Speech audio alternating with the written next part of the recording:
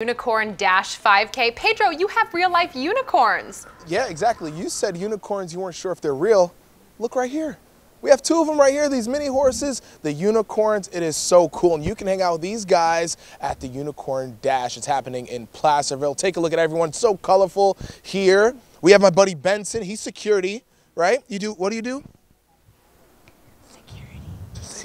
Security. Security. There it is, Benson. He does security. All right, Ashley, she's a region director to tell us more about what's going on. So tell us, what is a Unicorn Dash? So the Unicorn Dash is actually an opportunity for the community to come out, run, walk, or gallop, whatever your speed.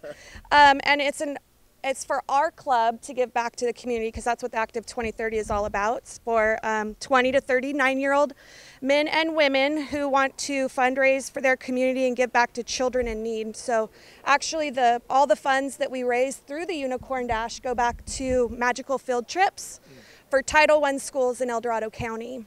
Good. So, so tell me just what is the turnout like when you see everyone there and they're all dressed like you guys? What's that like? Well, it's actually a, a really fun experience. It's when you see one, you get really excited, and then you see the others, you get really excited, and it's basically a place where we all unite. Yeah.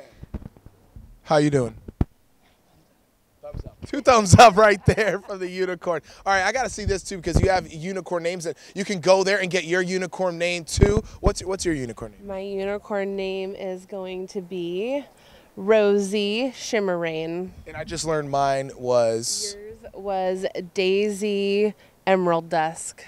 There you go. So if you guys back at the studio can change my lower third to Daisy Emerald Dusk for now on, uh, I will not be going by Pedro. That is my former name. That is my new name. So anyway, it's exciting, but why should you bring the whole family out? Because I can imagine a lot of kids. It's just a fun time.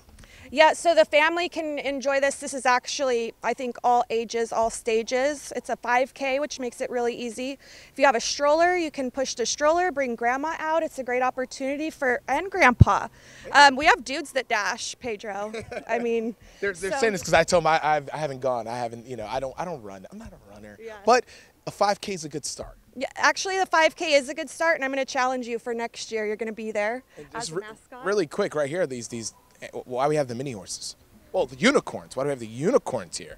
We have the unicorns here because Goose Willie Farm is an excellent uh, partner of ours, and they were nice enough to bring these out just as an added bonus to everybody coming out to the event. Oh, that's awesome. So when you come out and you and you see these live unicorns, it's just gonna mind minds will be blown. Minds will be blown. All right, guys, we'll send it back to you again in Placerville. You can go. Signing off. Daisy Emerald Dusk.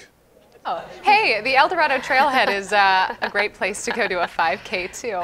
Thanks, Daisy. Not breaking character. Can you imagine Chroma out there saying, what?